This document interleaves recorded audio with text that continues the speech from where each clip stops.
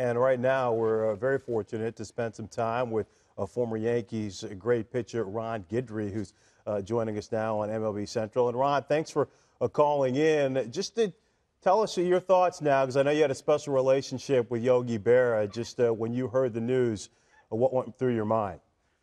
Uh, well, you lose you lose a national treasure. I mean, he's.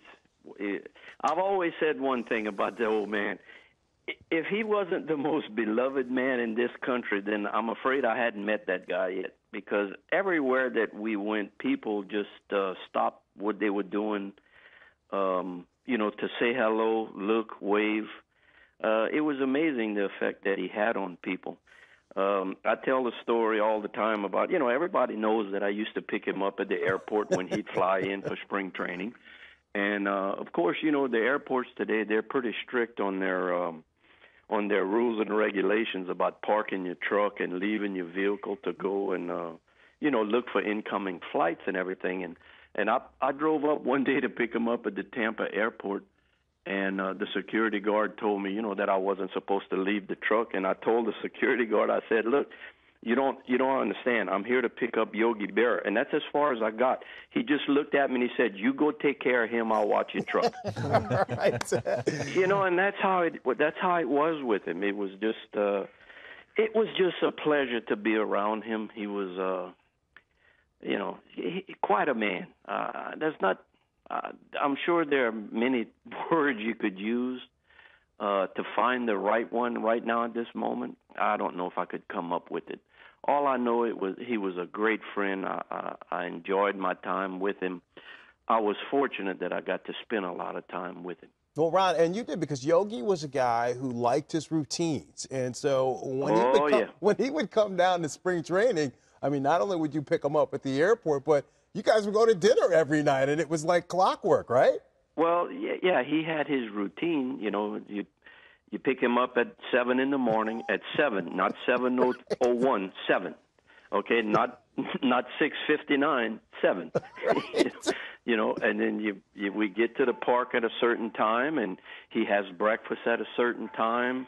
He has other things that he does at certain times, and then after practice is all over with, you know, then okay, where are we going tonight for supper? And we had a routine. We had about maybe six restaurants that we we we would go to in the evening.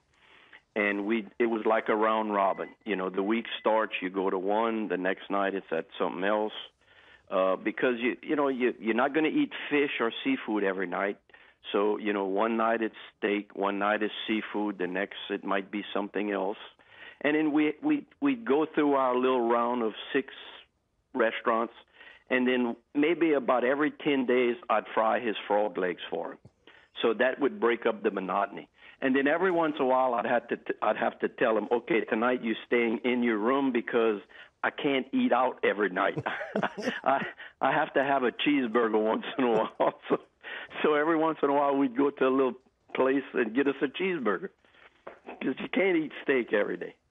Hey Ron, it's Mark DeRosa. I, I just want you chance to spend so much time with him. Did he realize the impact he had on, on, on everybody, not just the Yankees, but just in general? I, I'm I'm not so sure if he understood that.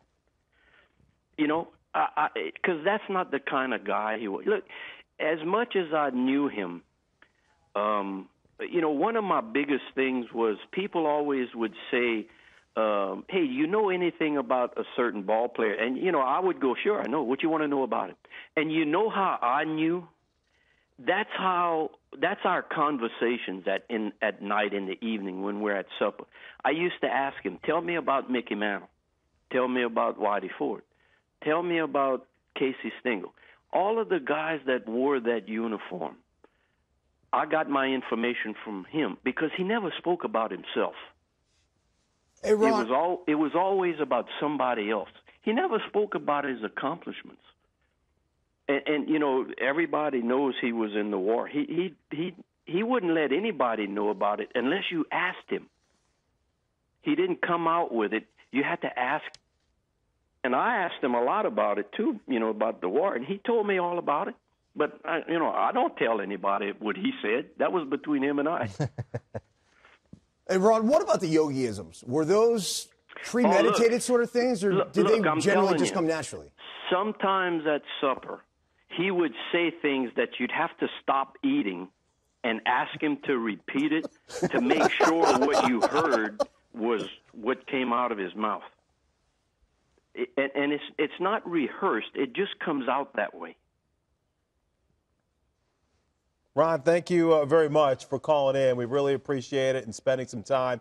We know you had a very special relationship with the Yogi Berra, and we know this is a tough day for you, but we appreciate you uh, Well, just coming I'm on gonna sharing some remember him. stories. You know, I'm gonna I'm gonna have fond memories. Like I said, I was very fortunate to spend so much time with him. Um, you know, I'm losing a good friend, but uh, he was a good friend to a lot of people. Great family man. I know his my condolences go out to the family, all his you know all his grandchildren, and uh, it's tough. And um, you know, we're just like I said at the beginning, we're we're we're losing a national treasure. All right, former uh, Yankee great pitcher Ron Guidry joining us on MLB Central.